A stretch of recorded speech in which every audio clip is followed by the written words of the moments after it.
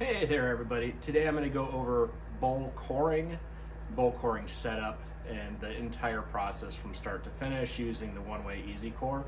Um, I have used all the other coring systems that are available out there commercially. In my opinion, the one-way is not only the best design, but is the easiest. The name's pretty accurate. So I'm going to go over everything from how I prepare a blank for coring to how I set up the, the base unit and each individual knife. And I'll just go through the whole process, walk you through it, and hopefully, um, if you have a Oneway system and you struggle with it, it'll help. And if you're searching for a coring system, um, it'll give you a good idea of how this one works. Uh, I have no affiliation with Oneway just you know happy customer that's used their product for a lot of years. First step is having a properly fitted tenon. So I did a video a couple weeks ago about how to fit a tenon properly. Um, this one could be a little bit tighter here, but uh, it's close enough. A, a general rule, you want the, the tenon when you're doing coring to be at least 50% of the diameter. This is a little on the small side. Uh, to be fair, most of my work, well, all of my own work is green to finish. So I don't like doing a reducing foot. Uh, these, however, are rough outs. I do sell them to other wood turners once they're dried. That's the case for this. I just tend to have a smaller tenon and that is probably wise, but I've done this a long time and haven't had any issues. So, all right, so the first thing I'm gonna do is just clean up this face. Thankfully, I use a, a, sawmill for almost all my bowl production, so my blanks are almost perfectly parallel all the time, but I still clean off the, off the face. It's just a little bit easier to mark up. So I'm gonna do that first.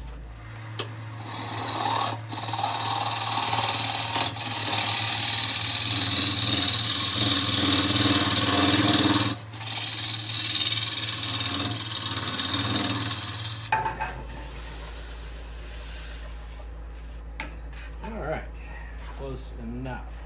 So now that I've got a nice clean face to work with, I will measure the blank. This one's 16 and a half inches. So general rule is you want your wall thickness of your rough outs to be about 10% of your diameter. Um, if if I were doing, if I were making these just for me, uh, which I don't do twice turn bowls personally, unless it's by a special special order. Um, I would make them a little thinner than that, but because I sell these, I tend to leave them a little bit thick. Um, it just gives uh, the end worker more room to work with, more uh, more ways to turn it into a shape that they would prefer. So I just take my dividers, you know, make sure I'm about an inch and three quarters, and I'm going to come in here and mark that first blank, and then I'll mark for the kerf. And then the, the remaining ones, I'm just going to guesstimate the thickness, just eyeball it. So there's my first, there's the kerf, second bowl, kerf, and third. So anything that's under seven inches, I generally don't save. I just don't have the need for such a small piece. And this is, yeah, six and a half ish. So next step, I'm gonna come in here with a bowl gouge and I'm gonna, you know, cut a channel where that, that uh, the coring knife goes in. Um, and I do it for two reasons. One, it makes it really easy to set that knife into the, into the space. And two, I'll go a little bit wider than the curve of that cutter. And basically I'll slightly round over the edge of the blank um, it just helps with drying. Uh, don't end up with that real sharp corner. And, uh, you know, generally that's where you'll come into issues. So I'm just going to mark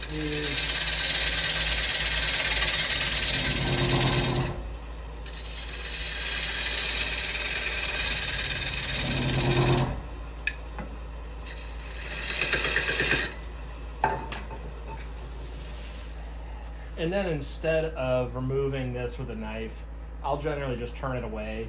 Um, I'll go deep enough to remove the, the hole where the screw chuck was. Um, and sometimes a little bit deeper depending on the ultimate depth of the, the blank. Um, I don't want to go too deep, but I don't worry if this first blank isn't completely even in wall thickness. These smaller ones just about never crack. Um, so I'm going to go ahead and remove you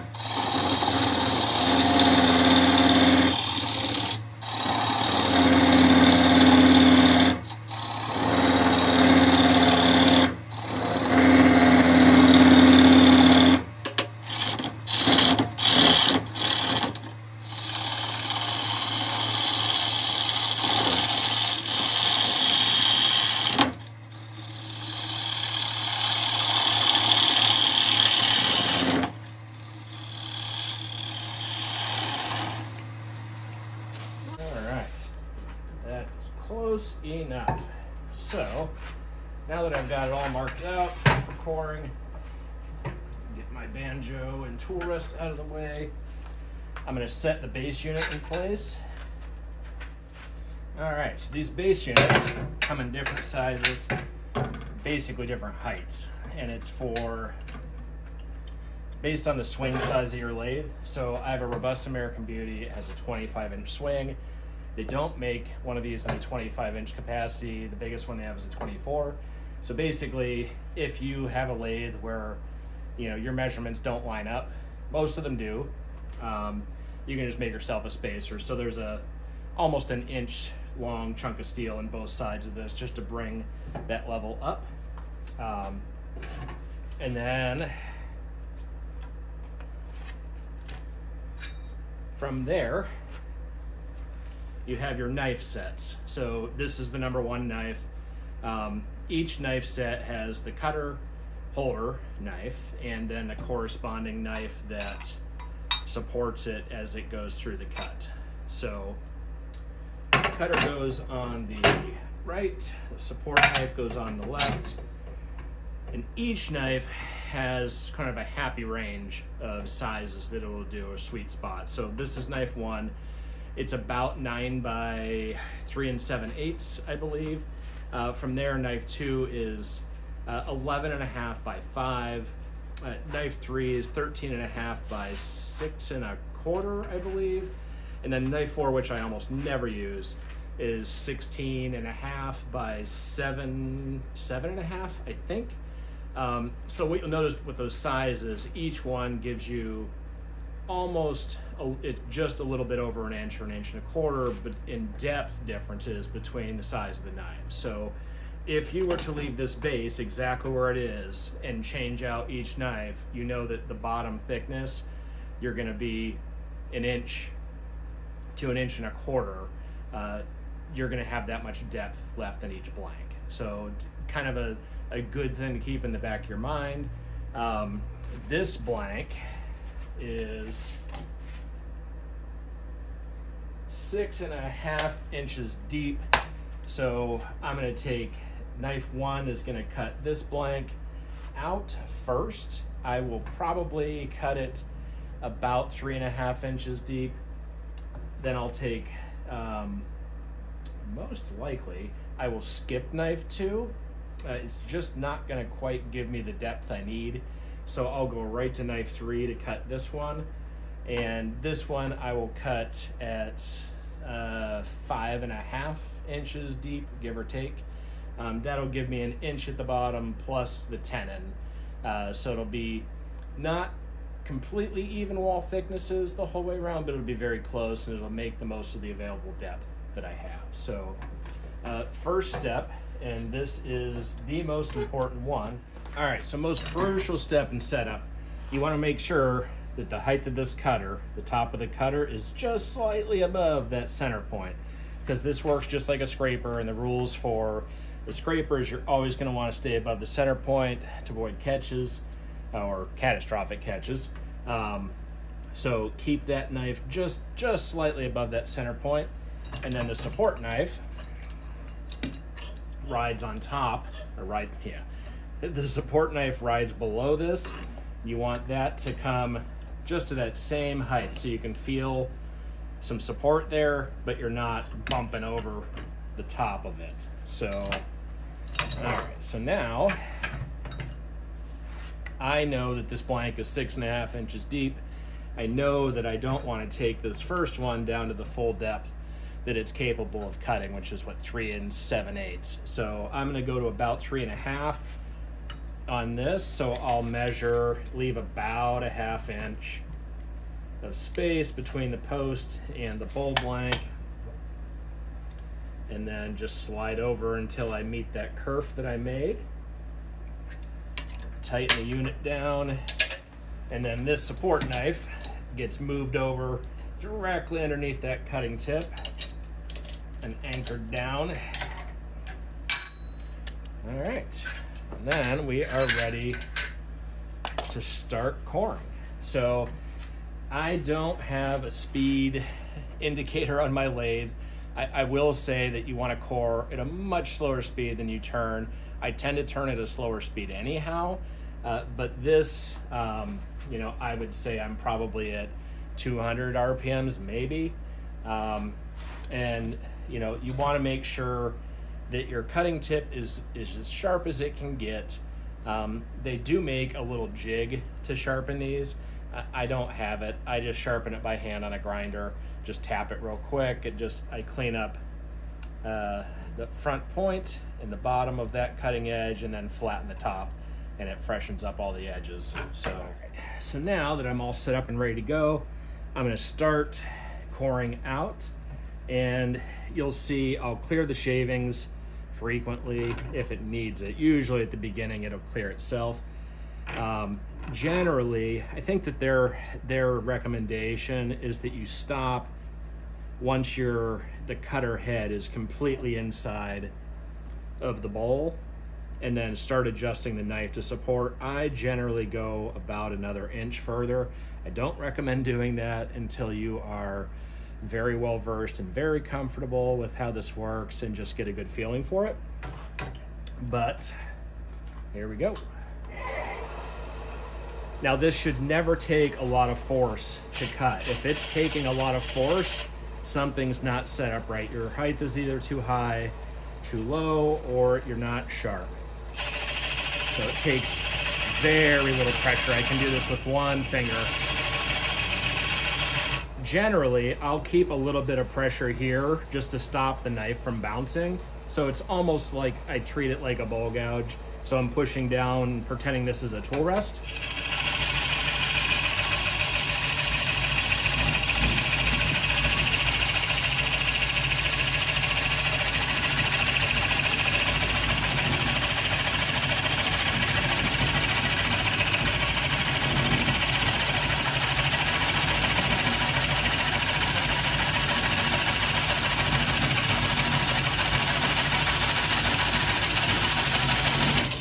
Can see these shavings are having no problems clearing themselves.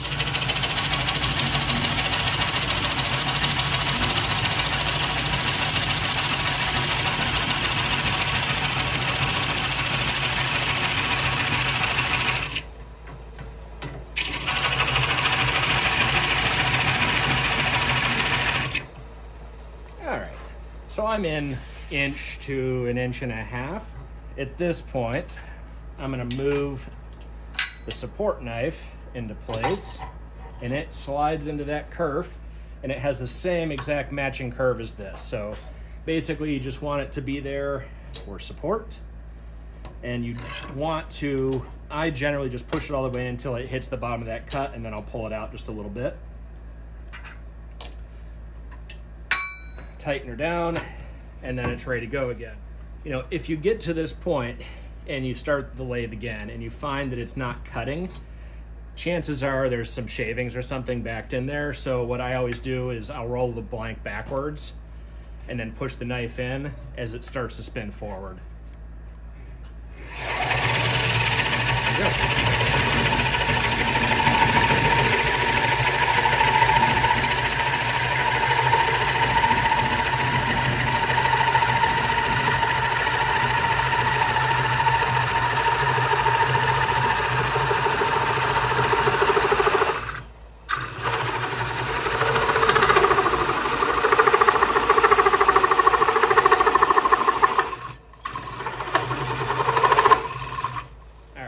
I will generally stop and move that knife in about the time that this bar becomes straight over the circular part of the support knife. Um, if you're new to this, I highly recommend uh, stopping and adjusting more often. It'll just give you more support. Uh, but that's my general rule. So super easy, just push it in again, back it off a little, tighten it back up, and then just keep going.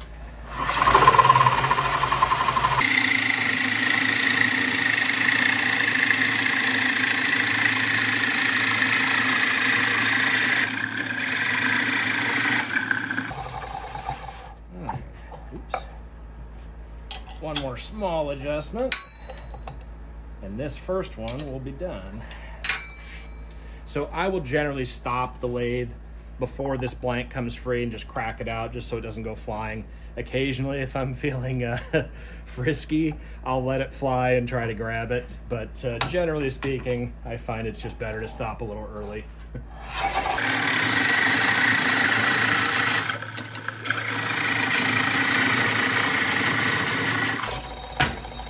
Okay. That's probably good there. Yep, she's wiggling. So I'll just take my wrench, break that last little piece off, and there's the first one. So at this point, some people will come in with a gouge and clean this up. You know, I don't see the, the extra step being worth it, um, at least with these initial cores.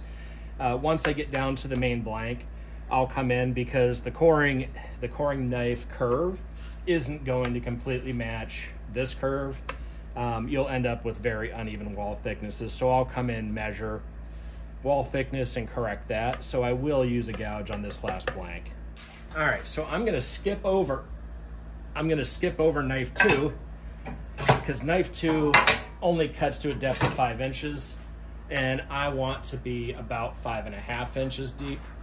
So I will use the bigger knife here, which we're a little on the small side. You know, we're almost 13 inches. Um, it'll work. So again, loosen up the base, loosen up the support arm, Oops. slide it into position. And I know, like I said, this bowl's six and a half inches deep. If I were to push that straight up against, it's gonna go six and a quarter inches deep. It's gonna leave me a quarter inch at the bottom, which obviously is not gonna be enough. So because I know this cuts six and a quarter, and I want to be it's about five and a half. I'm gonna leave about three quarters of an inch between the bowl and the base unit. Three quarters thereabouts. All right. Over right where she wants to be. Tighten it down. Bring the support knife over just like before, right underneath that tip. Tighten it down. And you're simply gonna repeat the steps that you did on the previous knife size. And once again, I just put a little bit of pressure down here. You don't have to, I just prefer it that way. And then it should take very little pressure to start cutting.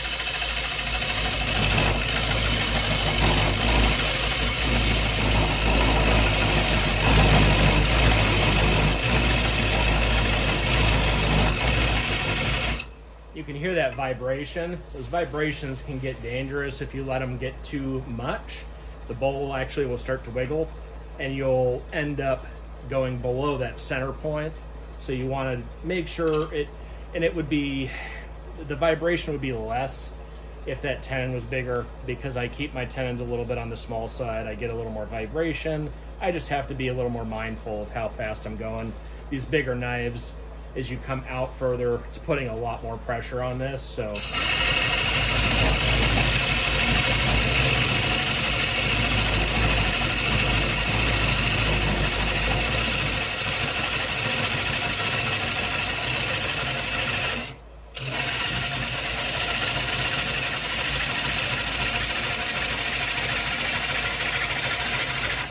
I don't know if you can tell from this video, but I'm kind of going in spurts. I give it a little pressure and let off.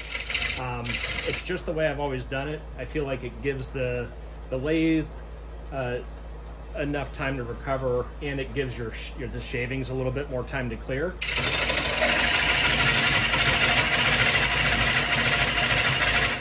But I think it's like any tool, you know, for me at least personally, like I'll read instructions and then I'll do it as the instructions say, and then I will find my own way that works for me better. Uh, not that my way works better, but it works better for me.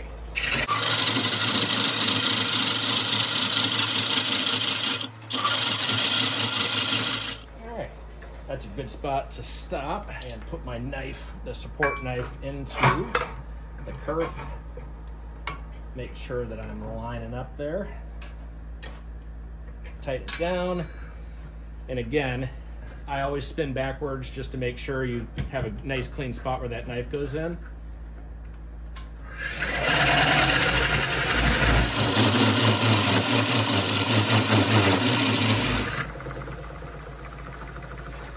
Every species is a little different. Um, some species are going to eject the shavings a lot better than others. Um, maple's pretty good. Uh, softer woods can create an issue. So like butternut or um, I don't turn hardly any of it, but like cottonwood would be another where you're going to end up having to pull this knife out as you're going to clear it a little bit more often.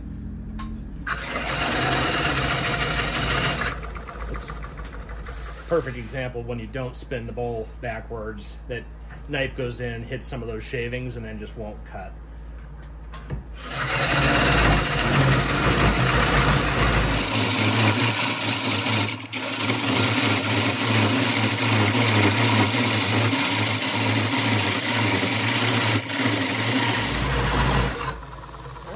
Once again, about the time that this straight bar gets over top of this post, I'll take a stop, take a break, move that coring knife support in a little bit, tighten it down, and go again.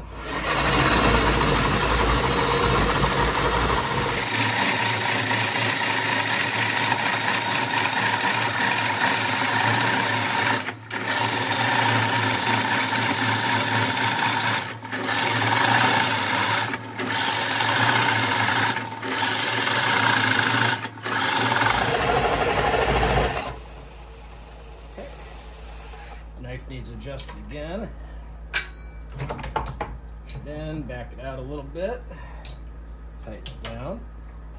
And you can see where these shavings are kind of piling up there. That's why I'll spin this backwards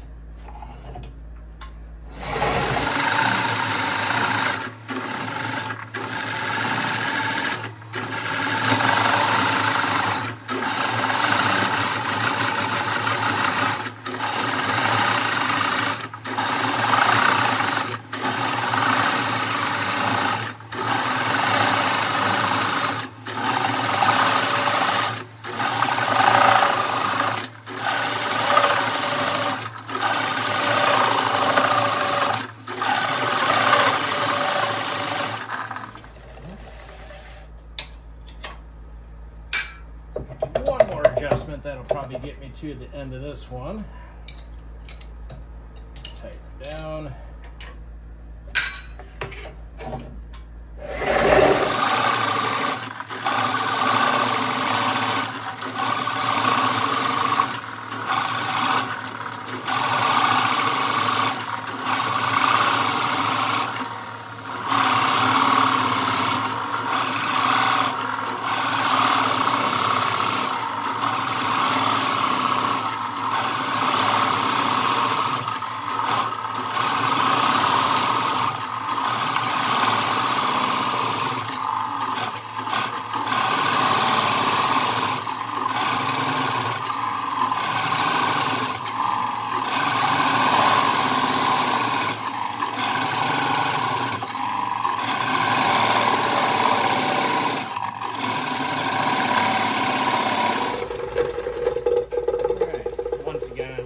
Tighten before this goes flying and just snap off that last bit.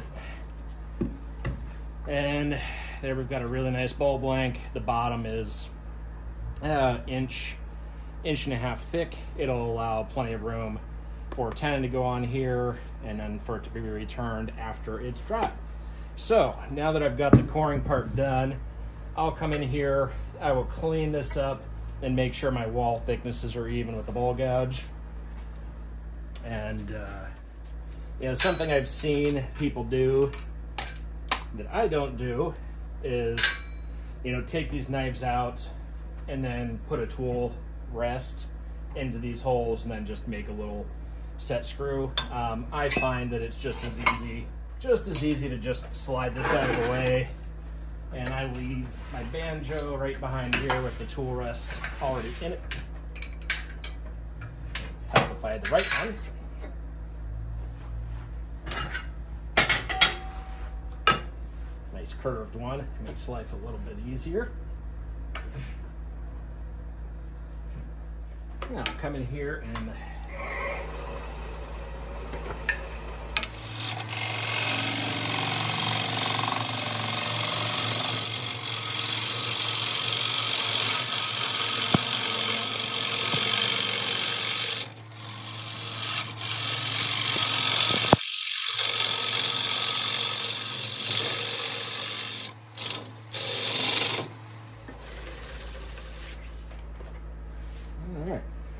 take my thickness tool, see how I'm doing. That one's just about perfect. It's close enough. So at this point,